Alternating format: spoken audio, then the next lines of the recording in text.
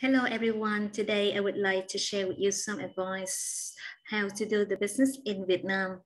Each country has its own distinct culture and it's fascinating to know that culture strongly influences how businesses are conducted in that country.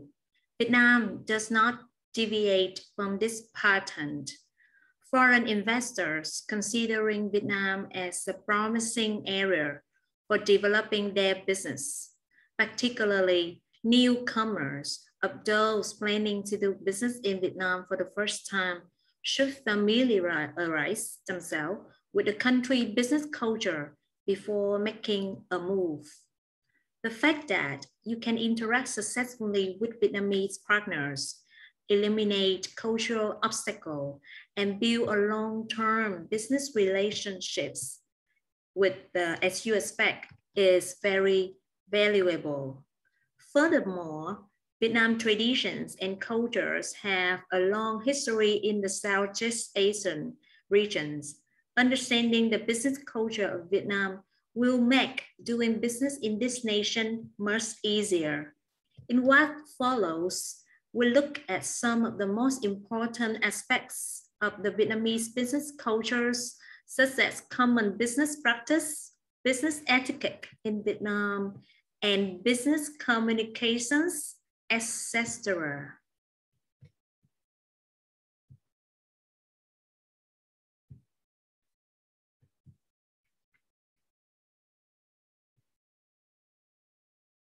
For the purpose of these presentations, we will primarily examine two aspects of Vietnamese corporate culture and etiquettes.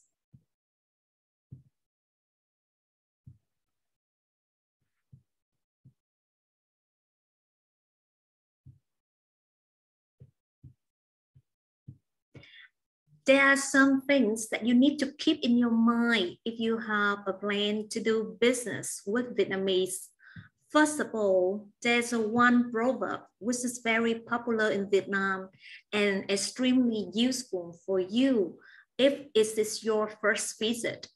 When in Rome, do as the Romans do, which means you need to change your behavior and imitate the behaviors of local Vietnamese here. At the beginning, Get this story started by introducing yourself. If they ask about your age, don't be shocked. Due to the abundance of personal pronouns in Vietnamese, this is a technique for Vietnamese people to choose the appropriate positions while addressing others. In Vietnam, giving gifts is a very popular cultural expression. Don't forget to present, present gifts and greeting cards to your companions and relationships here, especially on the occasions of the Vietnamese traditional New Year. In Vietnam, eating and drinking are an inseparable aspect of a social and even business activities. Dinners with local reps or clients help build relationships and put a smile on your clients' faces.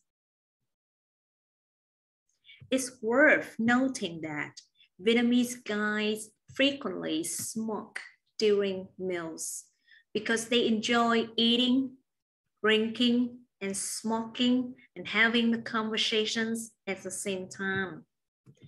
The way Vietnamese people drink at the parties differs as well.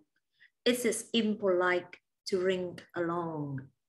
The custom is for people to drink only after clinking glasses, holding the glass in your right hand and generously raising it and saying trăm phần trăm, which means a hundred percent, or saying chúc sức khỏe, which means good health.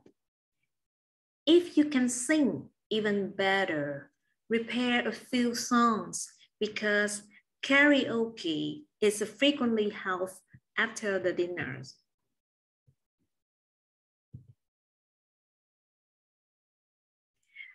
Saving face is incredibly significant in Vietnam, as it is in many other Asian countries. While being frank and direct is a positive trait in the West, in Vietnam, open disagreement or raising issues in public can be perceived as a person losing face. The face is a notion that can be loosely defined as a person's reputations, dignity, and status.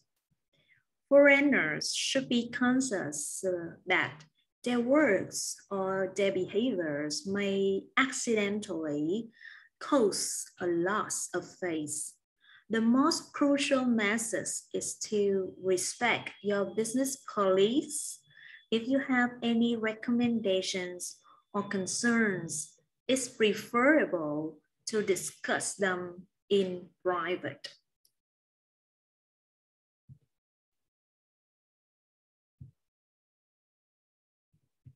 So in Vietnam, the administrative structure is still extremely bureaucratic with a heavy load of the papers and documents. However, be patient and stay calm, as the Vietnamese say. Don't be concerned about the language barrier if your partner is a foreign company operating in Vietnam. There should be an interpreter for state-owned businesses. Translators must be familiar with your industry and be able to communicate in the local language. Vietnamese people appears to be courteous. They're always smiling and agreeing with you, even if they don't fully get what you just said. If you smile, you will create a more relaxed environment and your partner will be more engaged in presenting you with significant matters. All right. Now we will listen some interviews of some different businessmen who have their experience when doing the business with Vietnamese. First, I would like you to introduce you, Mr. Mark. Uh, he is a senior sales director of Oracle in Australia and New Zealand. He came to Vietnam a couple times before and he has some things to share as in the interview, he said, I have to get up really early and have breakfast ready by 8 a.m. In Australia, the meeting took place considerably later. Even, uh, even if the negotiation isn't over, Vietnamese people have a practice of taking a lunch break. Women are frequently present at meetings. Sometimes it's merely for the sake of grace. However, it's not nice if you ignore her. On the contrary, having fun when speaking is the best way to go, but being forceful and clear when negotiating and making decisions is imperative. And then according to Professor Kyle at the Macquarie University in Australia.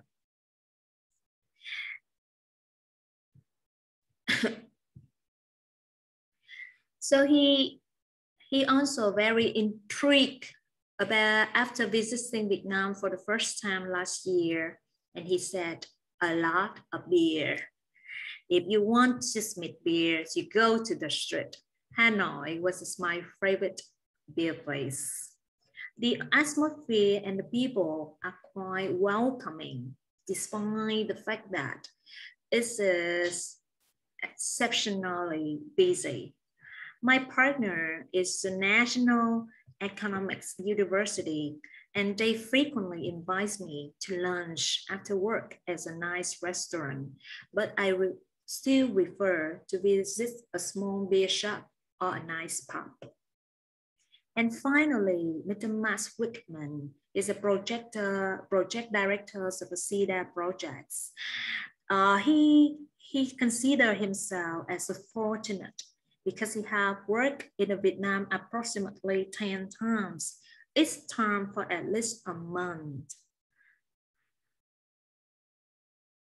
It is fascinating, fantastic that uh, just the Vietnamese people love to share the personal information to their partners. And the Vietnamese people enjoy discussing their families and children. And he said, I introduced myself as a father of five children on my first day of work and showed them the photos of my children. Since then, everything has gone nicely. Between us, there's almost no fear or distant.